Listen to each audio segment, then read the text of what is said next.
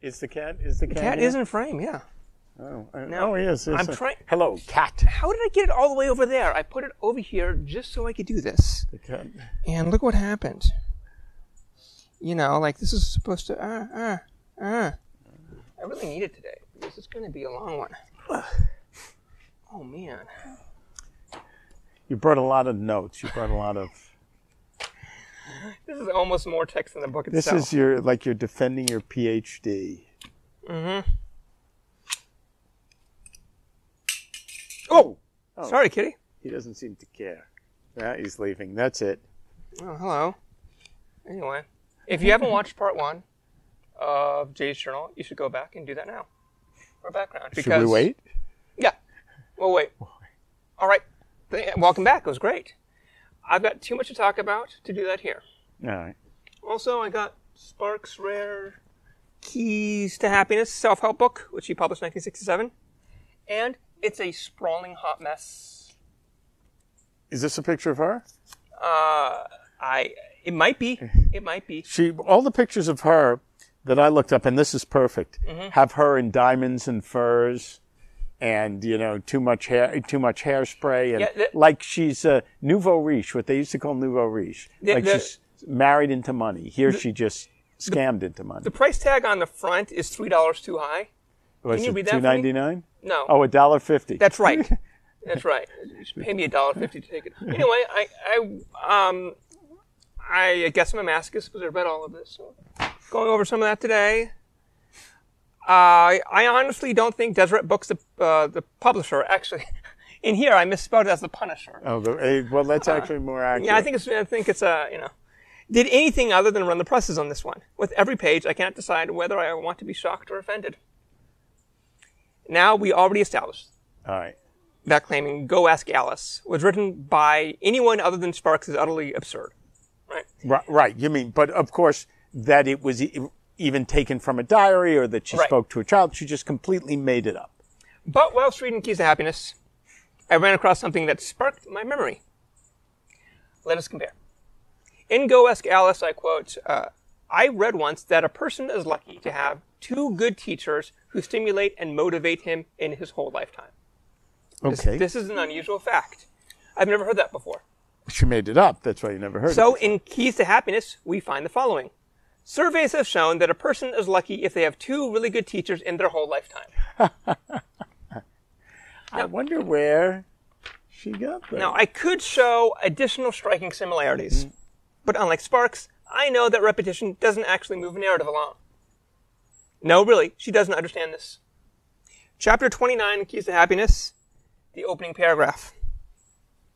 It may seem like I am repeating myself on some of these points. She's repeating Alice. So she's repeating. No, it's Keys to Happiness. Yeah. She's actually claiming to be herself. But it is like the old minister who said, when I want to really impress something on my flock, I first tell them what I'm going to tell them. Then I actually, I'm not even going to finish that quote. Fuck it. Skipping to the next paragraph. Do you know that's an old vaudeville comedian's rule? Yeah, I know. I know. I, I do. I, that's why I don't have to do it. Because we all know what's coming in there. Yeah. All right. Uh, Eh, next paragraph. Someti- sometimes when things are retold in different ways or methods, they are more impressive. No, they are not. That's not how writing works. page one done. Excuse me.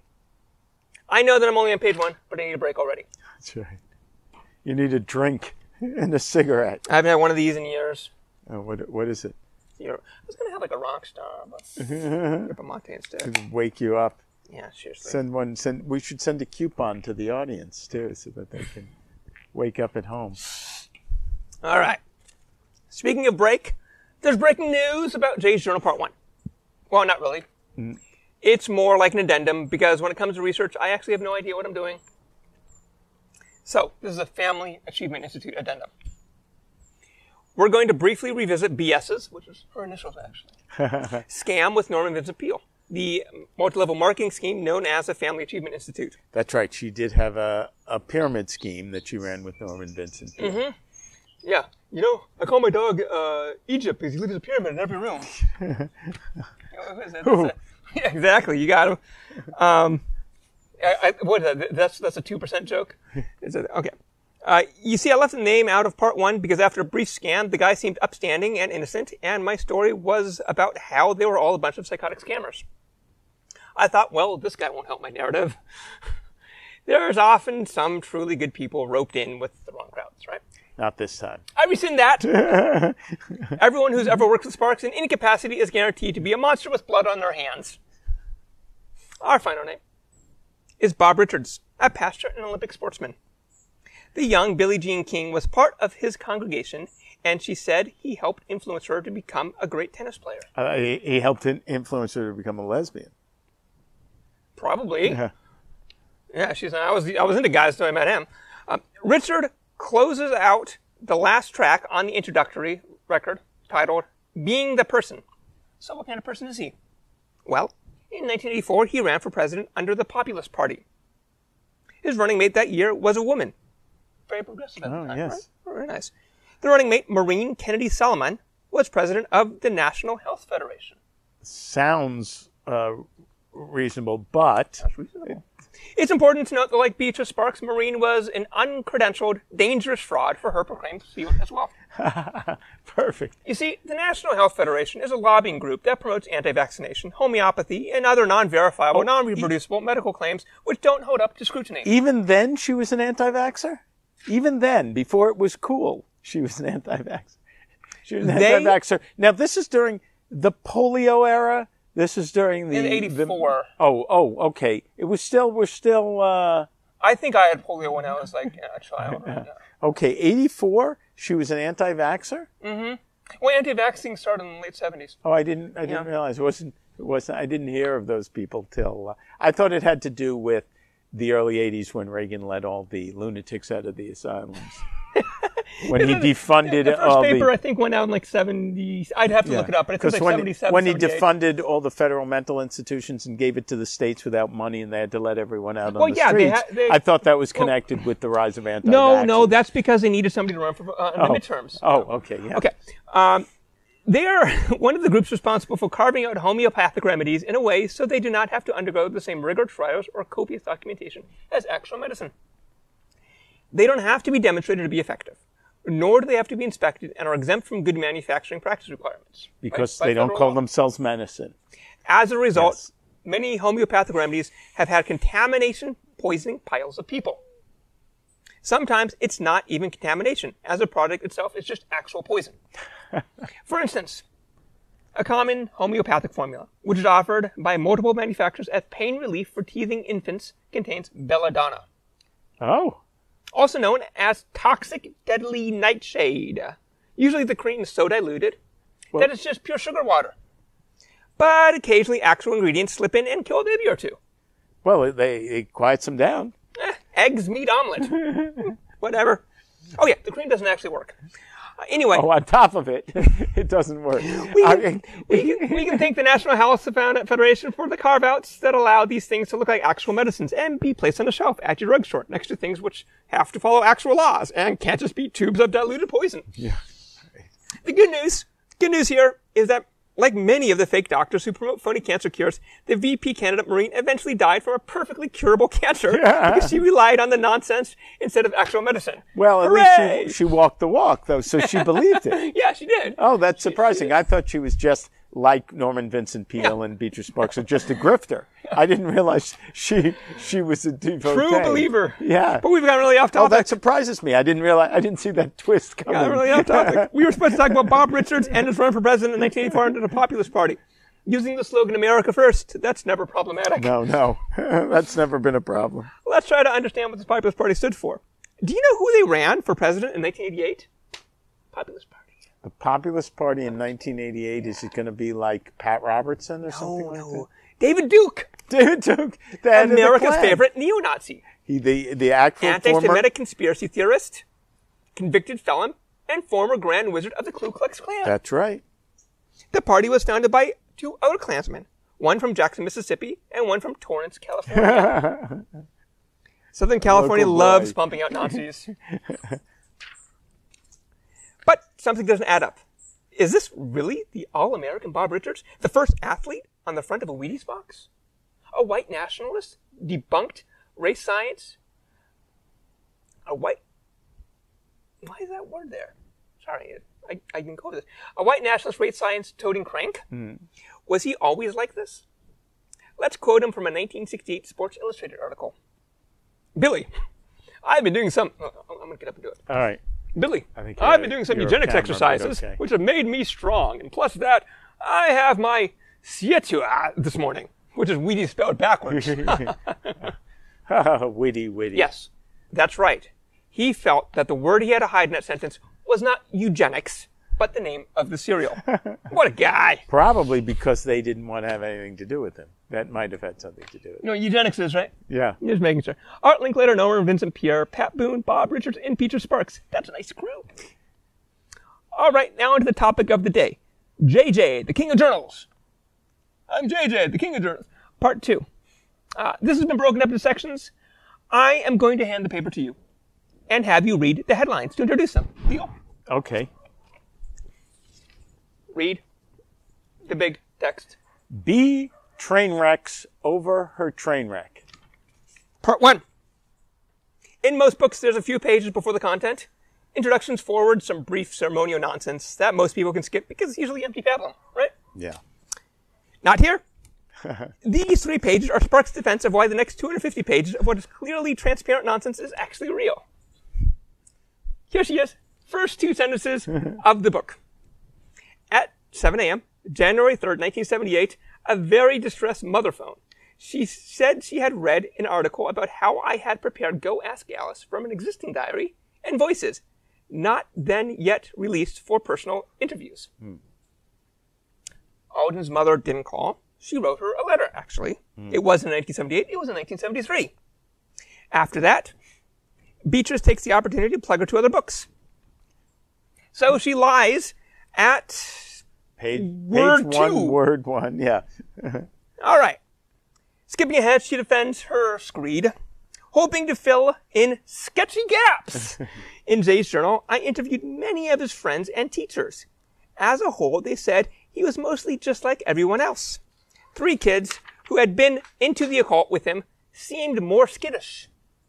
As long as we were talking about school, dating, family, drugs, hobbies, or sports, they were relaxed and friendly. But when I tried to question them about witchcraft, they changed, became frightened, secretive, withdrawn. Uh, through bits and pieces, I gathered that they were under some strange kind of sacrifice my own life or have it taken from me type of programming. They sincerely seemed to fear that I could bring harm upon myself or my kids if more information was di- uh, diverged to me. Their obvious and abject terror was contagiously and hauntingly real. So wait.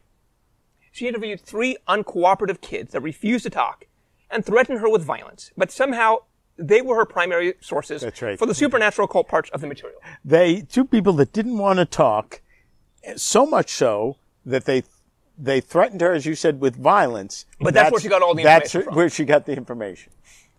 So she says they don't want to talk, but then she uses them as as their. All right. It's interesting to note that uh, Sparks was so incompetent at changing the names and places uh, of everyone familiar with the story could immediately had uh, uncovered the real names of the real people involved. So everybody that was familiar with the death was like, "Oh, this is about I know Yeah. who these people are." But things like the three anonymous sources who somehow refused to tell her anything and also told her everything have never come forward That's right. And I wonder if, because like exist. like her PhD, it doesn't exist. Like her college degrees in their entirety, they don't exist. I wonder what she was like. Was she like, well, two people is not enough? You know, sound, Let me make up a third many. one, yeah. Well, let's just say it was Let three. me make, Yeah. make up three people, Whatever. and they all had the same act.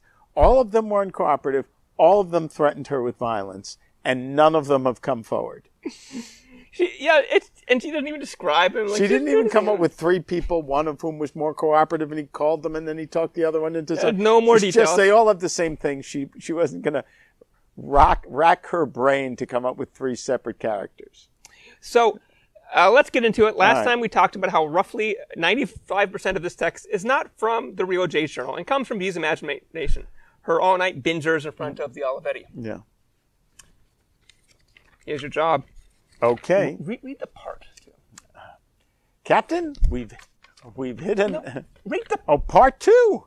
Captain, we've hit a Numberg. Mm-hmm. and go ask Alice. Alice was 15 for 24 months, right? Yeah. Right. B doesn't make the same mistake here, but she does make other ones. J, at the age of 16 and a half, after getting a car, supposedly enters high school as a freshman. Well, that would have been two years ago. Two years prior. Right. Now, when I was 16 and a half, I was in 11th grade. Yeah. Here she puts him at ninth grade, meaning he'd technically, technically be 21 when he graduated high school. It's very interesting progression for a gifted child. Yes, especially. Yeah. He got, as they say, left back. Now, I- I'm Twice. thinking maybe Sparks was held back three years and was just thinking of her own childhood. Who knows? Or since she didn't graduate high school at all, she has no memory of it. Let's see, I was out of sixth grade at, at 15, so 16 is ninth grade. Sparks has a bad habit of repeatedly citing events that happened af- well after Jay died. Yeah. I honestly don't think she was even trying after a while, and even name drop statistics from 1975 and 1976. Jay once again died in 1971. There's no editor or fact checker or anything. They just typeset this thing and printed copies. Simon and Schuster? No, it was it was it was uh, Times. Times book did it. The New York Times No, book? yeah, yeah. Wow. It gets crazier. Let me read the passage. All right. he went to a but Bhutan ceremony two years ago. In fact, he quoted John Welsh, some kind of biggie in the National Cattlemen's Association, who said that in 1975 and 1976 there were about 3,000 cattle mutilations. So there's three things here: Bhutan, John Welsh, 3,000 mutilations in 1975 and 1976. Hmm. As far as I can tell, the only use of Bhutan in literature or the inter- on the internet is as a 19th century spelling of Bhutan. So I believe it's made up entirely for this Yeah. book. I, I checked What, so many what things. is she saying it is? It's some kind of uh, cattle mutilation ceremony, but I, I checked And no one can. like Ngrams, Google Books, uh, you know, ProQuest. I, I checked as many Yeah. things as I could. You know, I have books on the occult, and you know, I, I, I, I can find it. As for the rest, John Welsh is misspelled in the text. After that correction, you will find that he was an economist for the lobbying group in the 1970s. However, there's no evidence that reported on cattle mutilation numbers. The Cattlemen's Association's primary occupation was with le- legislation. So, where does this association of the numbers and the Cattlemen's Association come from? I think uh, this is the source of, of, of where Her that book. nonsense. Yeah, I, I don't think that she took it from anywhere and then put it in here. She made it up I think she made. I think she. and, and hoped that it would spread elsewhere and then it would be able to be documented She- yeah, she- post the publication. she publication did enough of her research book. to find a name with the Cattlemen's Association that was legit. Yeah. and then she kind of just made up some numbers and put it in there. Um, the 3,000 number is made up. Uh, the real number that was reported at the time was around 900. And John Welch never got in front of any microphones. That would have been a spokesman, not an economist. Mm. Yeah. So if there was like a TV special, let's say, and they interviewed somebody from there, they wouldn't have done the economist. They would have, you know, it, Somebody would there's somebody assigned a- to do that. Uh, a It's, a lobbying group, Yeah. right? So they have like They have specialized people. PR to do that. people, Exactly, yeah. right? The claim doesn't appear in any newspaper, LexisNexis, any magazine, in, in the LDS archives. I was thinking that maybe John Welsh is a member of the Mormon Church and she knew him personally, or you know, because they have uh, biographies and obituaries for all these people, and he's not there. Um, so Sparks could have done a bit of research, found the name, and then just stuck it in there. Um, other things were easier to find. Uh, she cla she cites an American Journal of Psychiatry article, uh, which was published in 1977. And there's a fair amount of indirect evidence that most of the text was written in 1977, as opposed to the six years between receiving the diary and publishing it. Right. For instance, in 1977, uh, Leonard Nimoy hosted a show that ran for five seasons called In Search of. Yes, I remember it. It was about supernatural and paranormal mysteries. The crossover between Jay's Journal and season one include the May 22nd, 1977 episode about Atlantis, the May 28th episode about supposedly learning and teaching ESP, and the July 26th episode about voodoo. Many of the details match. So I think she was just watching television and just put in her book. But also after he died, Jay. Jay had Yeah, been of at this point dead Of- for of six course. years, and, and, she, he was still watching And she was sitting on the journal Yeah, for a number of years Yeah. until in 1977 she's like, well, I might as well do something with this. Yeah, and then Mm-hmm. There's other sensationalist trash from the era which has thematic similarities to Jay's Journal, such as the 1975 Peter Fonda movie Race with the Devil, about people trying to escape a satanic cult after witnessing a murder. As an aside, the Satanists in that movie write using the same invented alphabet invented alphabet that the Zodiac Killer used. Pretty fun. oh, I wonder if Beatrice Sparks was the Zo- Zodiac killer. this is the first connection here. Zodiac killer was what seventy eight? No, no, no. He was in the 60s, Oh. 70s, something like that. Oh. We, yeah, you know, it's it's it's one of those Right ones where about her peak uh, time Yeah, they flying never, around. they never quite found the, the person, so they don't Yeah. really know. You know, the, the only one that really sort of super came forward was Jeffrey Dahmer, Yeah. and he, you know, when he was caught, he was like, "Well, I, I, I have, to, I'm going to turn myself in. Like, I just Yeah. did all of it because he was, he had a mental problem, right? He Yeah. said, Here are the people that are killed, and here's what happened, and blah blah blah. He, he just laid it all out. Yeah. But most of them, you know, they try to claim I killed five thousand people or whatever it is, right? Right. Anyway, Part three: All the madness of Jonestown without the party favors. most texts will square the so-called satanic panic in the 1980s, right? That is when things became truly bizarre. For instance, uh, just one funny one. In 1982, there was an awful made-for-TV movie with a 25-year-old Tom Hanks called Mazes and Monsters, based on the nerd game of Dungeons and Dragons being a gateway drug to actual supernatural magic and, and ritualistic murder. Now, before you say who'd ever watch that, the thing was on CBS, so the answer is nobody. Yeah. Your grandmother. I always like to dig at CBS. Um, but let's go back. The real panic started from the ultra religious, the Pentecostal, and the LDS. They formed a revolutionary vanguard in the 1970s to what later became the truly unhinged psychosis we call the 1980s. For instance, in 1972, an evangelist from San Bernardino, California, published a book called The Satan Seller. In it, he fraudulently recalls sexual orgies and drug dealing, his rise in the ranks of Satanism to the high level of high priestess, presiding over satanic rituals, including magical spells, summoning demons, ritual sex, including a kidnap and rape, and how he escaped a murder attempt. Yes, a copy of that is in the mail. Don't worry, it's coming. okay. I have it on order. Uh, the evangelicals have their own closed media loop, and there's a number of totally madhouse hysterics by shrill pastors, saber rattling imminent doom, starting right around the time of the civil rights bill. Actually, I'm sure those are completely unrelated.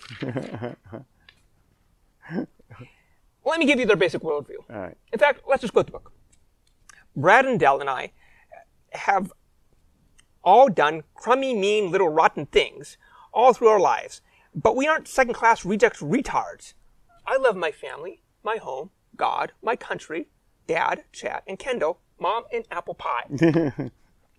Functionally, they observe a binary grouping of everything. Uh, this is why you see them uh, group together uh, opposing political groups simply because they are not the ones they personally identify with. Essentially, there's a one way to live, and everything else is a fall from grace, and thus intimately related with each other and come from a giant lump together.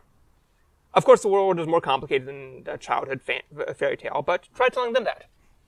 Um, their level of discipline and ideology is how they measure their value. This is the orthodox people, Yes. right?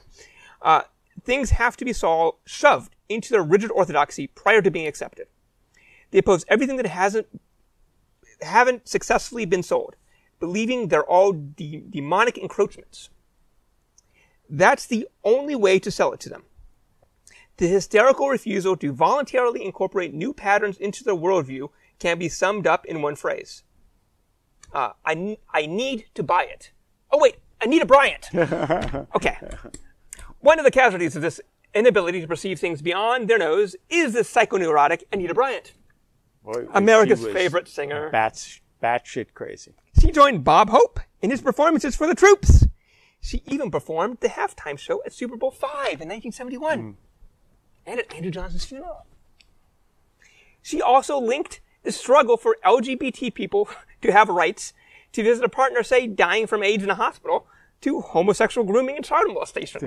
Right. She linked it to child molestation. She was uh, possibly the most evil uh, member of the 70s. now, before you say these things are unrelated, let's have her defend herself. All right, all right. as a mother, I know that homosexuals cannot biologically reproduce children. Actually, that's a kind of as a human, right? I don't, Yeah, I don't yeah. think you need to be a mother for that. Yeah. Therefore, they must recruit our children. Recruit. if gays are granted rights, mm. next we'll have to give rights to prostitutes and to people who sleep with dogs. Wow, who who thought of that billing? So prostitutes have no rights at all, right? And, No rights. and you know, some people, some, some people are dog people. You know? Yeah. Here's the lumping together. Since two women in a physical relationship is beyond Anita Bryant's nose, that makes it utterly indistinguishable from other lifestyle Yeah. deviations or crime. Now, for what it's worth, there were real events that permitted those so inclined to stitch together paranoid fantasies of how a more liberated society is somehow opening up the gates of revivalist Christian hell. And to be perfectly honest, books like the Satanic Bible by California-based Anton LaVey in 1969 certainly didn't help the cause. Um, nor did the Zodiac Killer, who drove around Northern California looking for isolated people to murder in the late 1960s, or Mack Ray Edwards, who kidnapped and slaughtered children in the 1950s and 60s. And Obviously related to. was finally caught when three abused girls escaped from his California home in 1970. Then, of course, there's Charles Manson, who had his famous doomsday call eh, of homicide in that rundown ranch outside of San Francisco, California, and was convicted in 1971. And Juan uh, Corona, who slayed 25 farm workers and left them in shallow graves outside of Yuba City, California in 1971. Later in the decade, you have Jim Jones from San Francisco, California, the Hillside Strangler from Southern California, and Ted Bundy from San Diego, California. But now we're getting ahead of ourselves. And let's not forget the sexually assaulted and brainwashed 19-year-old heiress Patty Hearst, who was kidnapped from Berkeley, California by the Symbionese Liberation Army, who also did some assassinations bank robberies, because apparently that is simply what one did if they lived in California in the 1970s. So she's she's linking these together based on the uh, moving away from the um, Bible, but at the same time there was the popularity of Anita Bryant. So I link it to the popularity of Anita Bryant, caused people to drive around California killing people. Now, that was a four-paragraph setup to a good punchline. Oh, I hope you appreciated it. I worked hard on that one. All right. Anyway, hmm.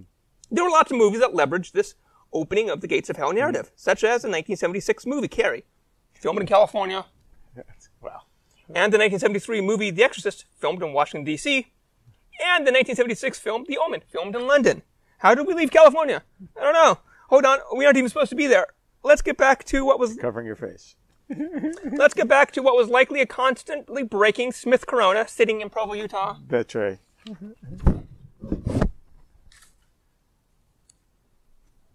Part six, writing level, No, three it's to not five six. years. Part four. Oh yeah, do your finger. Part four, writing level, three to five years. Right, you see reading level? This is writing level. Apparently aware of the criticisms of her unusual vocabulary in Go Ask Alice, Jay's journal is truly absent any sophisticated verbiage. This is interesting since the journal in question is ostensibly authored by a teenage genius.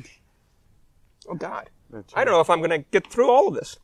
There's a long tradition in literature of lazy writers wrapping characters in comically primitive stereotypes to make them look distinct. For instance, in the 17th and 18th century, English literature, when someone is talking, starting to quote a German, will change the font to something called Fraktur. In the 19th and 20th century, foreigners and black people were given comical accents by uh, by misspelling the letters to try to emu- uh, by like misspelling the letters. Yeah. Okay. I don't really know this one. For instance, Mark Twain gave his black characters somber-like Southern drawl. But to be fair, most of his white characters were depicted as banjo-playing, slack-jawed yuck-yucks. Uh, these serve as loud, obnoxious cues for the reader, like if a saccharine violin plays in the background during a tragic sce- scene on screen. It's almost as if the director barged into your living room and slapped you in the face and said, This is the sad part, you better cry now. It's ridiculous and pathetic, so of course Sparks did it. She feels an obligation to frequently remind the reader that the author is supposedly an adolescent. She does this by making hackneyed grammatical mistakes that read like the oval-shaped comic strip of Family Circus or the Annals of Prairie Home Companion radio hour. Oh, sorry, that show was more like eight hours. Um, Ingo asked Alice for phony advice column from the book, Jay's Journal, and uh, or phony advice column from the comic book, Jay's Journal, and Keys of Happiness. She does the same techniques to try to persuade us that it isn't just her imagination playing the role of a child, but we are reading the actual writings of a child. To me, she's equally ineffective in our pursuits. There's a love B has of naming people in a list with ands instead of using a commas. She also swaps me and I frequently, uh, repeats simple adjectives, and uh, crass exaggerated emotions. taken together, here's how to write like B Sparks. I made this one up, but this Okay. is me and Billy and Jimmy and Mom went to the soda shop. It was very, very, very fun. At the soda shop, me and Mom had a banana split. Jim also had a banana split. It was the best day of my whole life. That doesn't sound like a brilliant teenager. That sounds like a first grader. In this style, Sparks essentially takes a grammatical pat- pattern of children under about five Yeah. and attributes them to teenagers. Her characters talk this way about drugged orgies and murdering people. it's just profoundly unbelievable. Uh, this laughably inaccurate depiction of how teenagers talk doesn't only expose Sparks as a hack writer, but also a fraud child counselor. She obviously has extremely little exposure to how teenage writers speak, otherwise she would find this just as laughable as we do. Yeah. Part five. Now I understand why they make books flammable.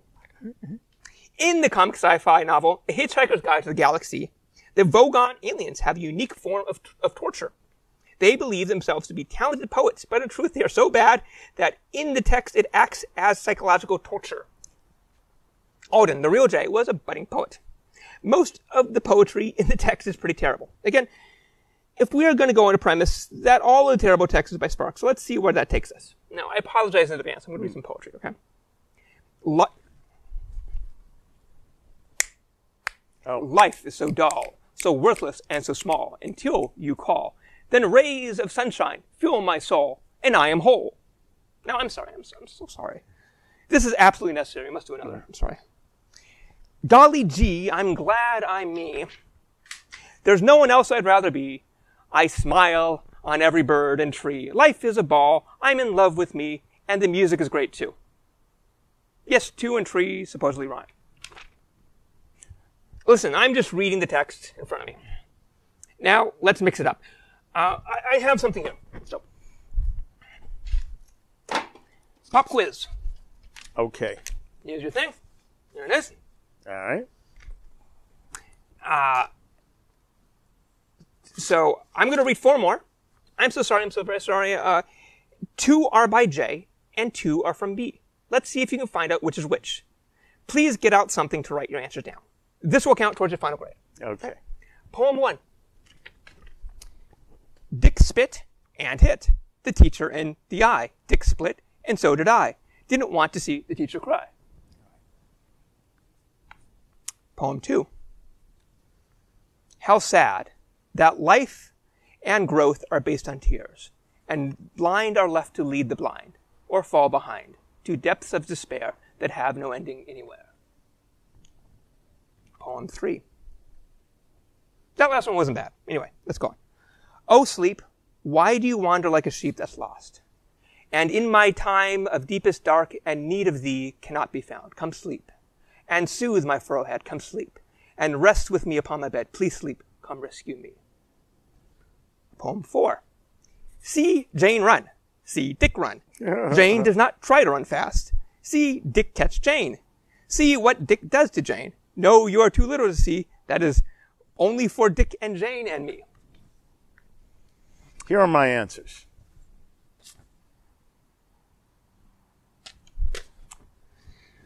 no.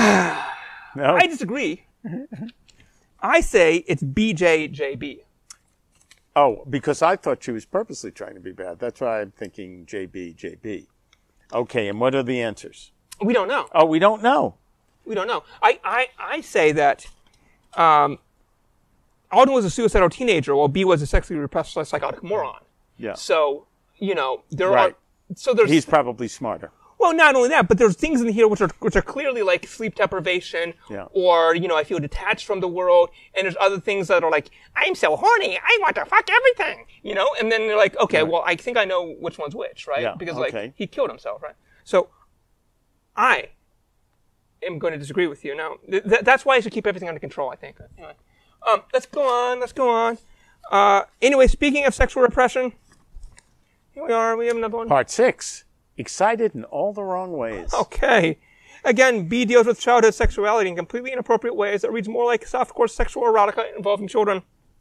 In Jay's journal, this woman of the Lord has a section entitled Joys of the Trio. When we were in Boy Scouts, the patrol we organized was called the Boner Boys Patrol, referring to erections, of course. Oh, I'm glad you cleared that up. this may sound perverted, but we were indeed quite horny. Ruining a nice organization such as the Boy Scouts of America was quite an accomplishment, even though we weren't trying to do anything but be ourselves. After this sentence in the book, the writing style changes, and the sophistication of it seems to become substantially better. I'm going to move on, and you'll see that this is dramatically different from the first part. So the next paragraph. Anti-values were for establishing our own peer group. Now, realization that violence leads to oppression. In order to unsystematize the systems, you must work from within the system, and you must be open to different points of view. In order to become a legend, all the same, and we will yet be legends, even if we all are, even if we, even as we are apart. Sorry. That's the garbled mess uh, of interplaying and unrefined ideas that you find in young people that are trying to think deeply about the world, right? Uh, oppose this to the Boner Patrol. The sections that B adds to these entries serve unsophisticated and sophomoric uh, purposes. Uh, it's because life is a messy stream of events and experiences, and it's not a narrative, right? Stories are constructions of these raw materials of life. It's the task of a documentarian is to take these pieces, include as much of them in as rich a manner as possible, and form a cohesive narrative around that. What you're supposed to do as a nonfiction writer, right? Jay's journal is an entirely invented narrative where the events and experiences of Alden's real diary simply act as the environment in which they happen. It would be like uh, reading Anne Frank's diary and saying, "Oh, this is cute. Let's write a story about a little German girl growing up in Holland." She can have a dog named Fifi, a favorite bakery where she gets her stroopwafel. Maybe go uh, not get along with a girl at school. It'll be great. Actual entries in Anne's journal wouldn't push actual entries in Jay's journal wouldn't push the narrative along because it wasn't constructed to support the events and experiences. Only to use the most simplistic superficiality with absolutely no conceptual understanding of the underlying mechanics, right? It, it just simply sets the scene. Yeah. Similarly, uh, the text by Alden can't push Sparks' story forward because her story wasn't built around it. So when she includes the actual text, it's obvious because it sits adjacent to the rest of the narrative. And the parts she does decide to include, one can only assume are for equally absurd superficial reasons because she essentially lacks a cognitive capacity to go any deeper. So in the section I just read, uh, the word that sticks out to me is the word legend. The egotistical confidence of Sparks oozes through the text. There's something called the Dunning-Kruger effect. Um, Okay, wait a second. what? I can't. I can't. Where's it going? I'll be right back. Now, this is not going to get done. I got 20 minutes, and somehow I've got seven more pages. Um, I thought I could get through all of this, but especially when he leaves, like, this just is not happening. Maybe I should just continue to read, and then maybe he will, like, um, you know. What is going? Like, th- this is terrible. Like, you know. I, I also have a script. I, I have something here that he's supposed to be reading. In fact, I'm just going to go on. Screw it. Uh, and the part she does decide to include, one can only assume they are there for equally absurd, superficial reasons, because she essentially lacks a cognitive capacity to go any deeper. So it is. Oh yeah, I just read that. Not only they're unable to perceive the accurate concepts, but uh, they're also unable to comprehend that they are incorrect. The Dunning-Kruger effect is about statistical anomaly. Mm, come on. Okay, let's try this one again. See, this is, this is why this is why life sucks. Um, something called the Dunning-Kruger effect is about the statistical anomaly that those who seem to perform the worst on some objective questions consider themselves the smartest, cleverest, most well-informed, and deepest thinkers. Not only are they unable to perceive the accurate concepts, but they're also unable to comprehend that they are incorrect. Take, for instance, the parents who killed their babies with the phony homeopathic poisons, or the woman who died from curable cancer because she refused valid medical treatment. Grasping of concepts to get them past their own ignorance is beyond the capacity. They end up killing their loved ones and sometimes themselves because they're unable to and uh, do the mental lifting. Did I miss anything? Um, back to Sparks. I believe she was thinking, I am writing this utterly believable text that's going to fool everybody. Here's a journal entry that uses the word legend in it. I find it quite humorous that people do not realize I am writing a legend, a work of fiction. So I'm going to hide it in here Just like I hid the reference to the prodigal son narrative in Go Ask Alice, and I'm sure nobody caught on to that one. Also, Sparks is a big fan of working within the system now, as this text said. Uh, by that I mean her entire preoccupation was conforming to an orthodoxy at a fundamentalist level. She agrees with these words, but extracted a different meaning from them. Uh, coincidentally, uh, 1977 was during the ascendancy of uh, what became known as the religious right. In the, ter- in the 1970s, the term religious right was frequently used as a right of religion, as opposed to right-wing politics. Yes. And placed within a broader framework of the civil rights movement. It was a pivot from, from historically existing outside the political system to an exercise in agency in trying to control it. So uh, let's revisit uh, this again, and I'm going to read that passage and put in an interpretation of how Sparks, as representative of the 1970s religious right movement, sees those words. Now, uh, this is a script, so I'm gonna. So you have parts that say Larry, I have parts that say Chris. So we're gonna do that. All right, here we go. So uh, this is the same as before. Anti-values. Anti-modern values We're for establishing our own peer group. of believers in tradition. Now, realization that violence leads to oppression. The violence of hippies leads to the oppression of the silent majority. In order to unsystematize the system, Reorient modern society toward Christian values, you must work from within the system and you must be open to different points of view. such as voting for a divorced movie star. Ronald Reagan. Jay's content only exists in these small selected snippets, kind of like islands in the desert of B. Sparks. The next page, it, it, on the next page, it goes back to her pedophile erotica. So here we go. Okay. Today I met Pete, and there's something really different about him. I feel Pete is drawn to me, as I am to him, but I don't know why. He's a gorgeous, slick, slim, trim jock, and different somehow than the rest of the teachers, but I don't know how he's not some crazy fairy fruit. It's scary, but it's exciting. This isn't the first time B wrote a story about a teenager lusting for a teacher. Last time we talked about a story that she did under an alias 1949 comic book, Junie, issue 7, called A Torch for Teacher. Same premise. Except here, uh, Pete introduces Jay to, well, let's quote. He talks so easy about uh, intuition, meditation, ESP, or a life after death, the oversoul, how much karma a person must erase before they're limited, uh, liberated, how they can better influence the world in the new age, how they can recognize their soulmate, mysticism, erotic, esoteric science, hidden teachings of the ancients, the equations of life. He says, an Astrian in need never walks alone. Astara is a rather obscure organization that used to advertise in something called Horoscope Magazine in the 1970s. In fact, this entire list could be found in the ads of one 1977 issue I was able to find online. So she was just paging through and said, oh, I'm just going to put this word in, this word in. Anyway, uh, in fact, th- th- these things come in, in sequential paging order. Uh, anyway, like when she was using the drug term uh, torpedo, Sparks clearly has no concept of what these means but beyond the ad she saw in the magazine. Oh, so remember how we said that all deviations get thrown into a giant grab bag? Yeah. Uh, let's go here. Uh, this is uh, her, his lust for Pete. Uh, later on, Pete was a fruit, but raping a little 10 year old boy in a broom closet? Man, what kind of weirdo is that? I wonder how long it would have taken before Pete put the moves on me. Dave said he got to no, uh, no telling how many kids with promises or bribes or just gentle offers of friendships and acceptance. Lots of kids need that so badly. They would do almost anything to get it from almost anyone, and I thought Pete was so neat. I wonder if he was using PS, PCP or something. Again, because Sparks believes the orchestration of things such as drug use or homosexuality is by the same actual horned prince of darkness with a pitchfork and hooves. In her head, these are all track as if they are inedible.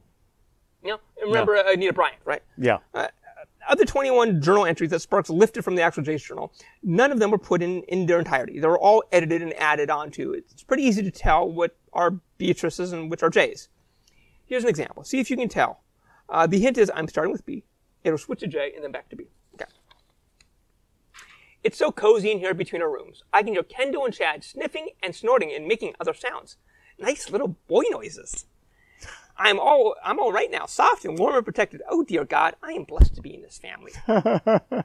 Chicago, coming through it, coming into it through miles of grain fields and barns like big castles. I thought we had come across a new race of people. In the little towns, they were just like us, complaining about the prices too high and the government too low. But in the city, it's crazy and rough, wind blowing, the piercing, the buildings piercing through the sky, making their own ragged peaks. I love walking down the wild, windswept lake shore, fighting keep each grain of sand and seashell as its own. The birds seemed as aggressive as the weather. Maybe next year, Brad and Dell and I can take uh, the car and come back here on our own. Wouldn't it be fun? Just the three of us crossing the nation. It shouldn't cost too much, and we could take our sleeping bags and buy most of our food in the markets. I really had meant to write every day, but at night I'm usually just poop, poop, double poop. Essentially, Jay's writings are imaginative and abstract. They tie in an entire experience. They show some fe- uh, feeling distant and isolated from most of society, unable to make a connection that will give him groundings in the terms of engagement he seeks. B's writings is a crude, egotistical, cloying twaddle with f- uh, frequent sexual and patronizing descriptions of children. She was a, ta- a tacky, foul, and repugnant person. This happens to be the most entertaining kind of person, as long as they don't get too close. Anyway, the drop-off is dramatic.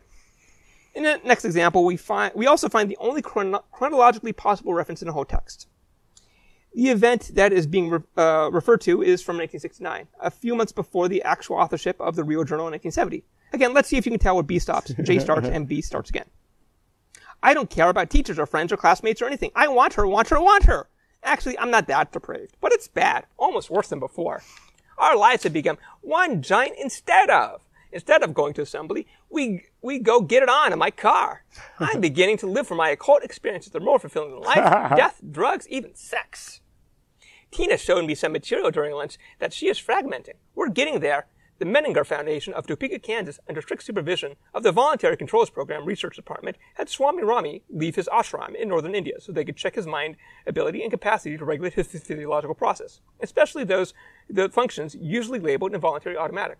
Westerners are enabled by the pursuit of power and riches that they're unaware of the wonders of the unseen and leave unexplored the mystery and truths around them.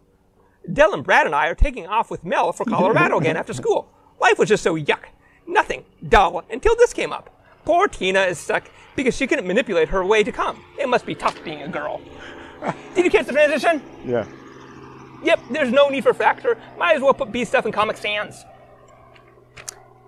Not only is the uh, okay, we got 14 minutes. Not only is the attitude towards the world starkly different, but so is their interpretation. Uh, Jay has a coarse and unrefined view of things, which are more or less on the right dartboard, and you can see that his ideas are kind of broad and not focused like most people as a teenager. He's starting to understand institutions' power dynamics and their currently configured interplay, right? Sparks, however, has a very refined and crisp view of the world, which is entirely inaccurate and juvenile. As opposed to trying to unravel the contours and sophistications of human collective, which is what Jay was doing.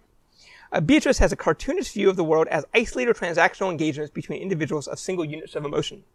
I transfer one unit of humility and receive one unit of, grat- of gratitude. This strange mathematical model of society is a very well-defined relationship that only exists in our head. This is why she probably ditched 95% of Alden's actual journal. It doesn't fit within this world. It's weird emotions as a currency in a market model. They probably weren't cheery enough or could have said things that made her feel uncomfortable.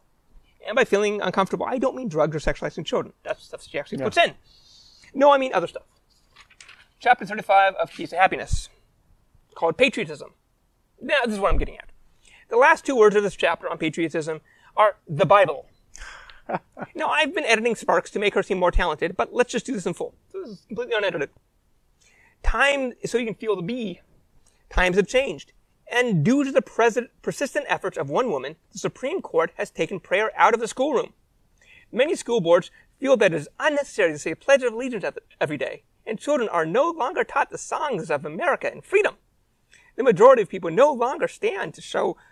uh, I'm going to read this as is, and there's issues. Let me. s- The majority of people no longer stand, show their respect to the flag. The symbol of our country passes by nor do they feel an emotional kinship to it.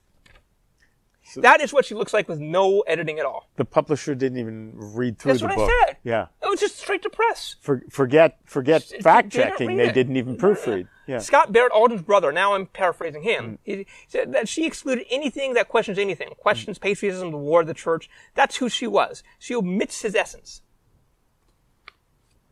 Now, now there's a stage direction. You, you gotta observe it. Okay.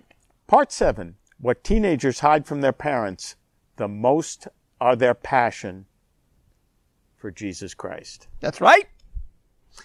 To okay, ten minutes. To uphold a set of beliefs, you have to rationalize away inconsistencies. The easiest way to do that is through what could be termed conspiracy brain. For instance, if the belief is spies are following me, the lack of evidence is the evidence of just how secretive they are.